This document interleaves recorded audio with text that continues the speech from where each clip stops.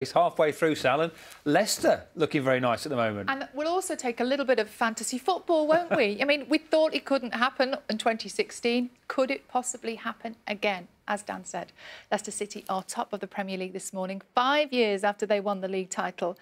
At odds, West Ham are only six points off the top after winning in last night's other Premier League match. They beat West Brom. Southampton finally secured their passage into this weekend's fourth round of the FA Cup. A COVID some news from the United States overnight. Tiger Woods' season is on hold. He has had back surgery for the fifth time in his career. Next month, it's the Super Bowl in the United States, and for the first time, it will feature a female referee, Sarah. And I started, didn't I, with news of a new leader at the top of the Premier League, but the goal of the night came from a goalkeeper in League Two. This did keeper, he? He did, yeah, because he keeper just said, keeper. yeah, it was one of those things. it was a fluke.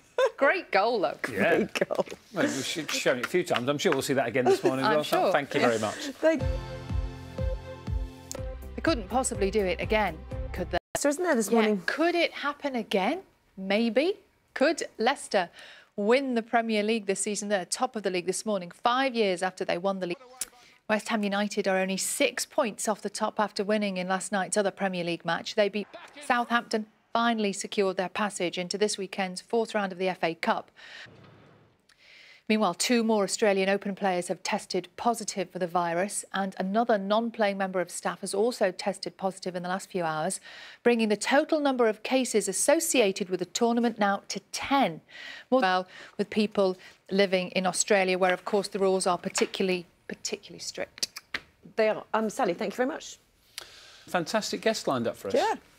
Yeah, great guest. Been looking forward to this all morning. Morning, everybody. Judy Murray has always been a proud promoter and advocate of women in sport, so perhaps appropriate that her new project involves talking to some of the country's most successful and prominent sportswomen, including Dame Kelly Holmes.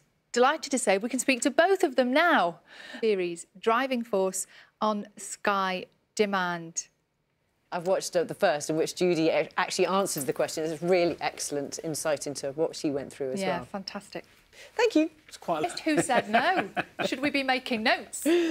Uh, Sally, thank you very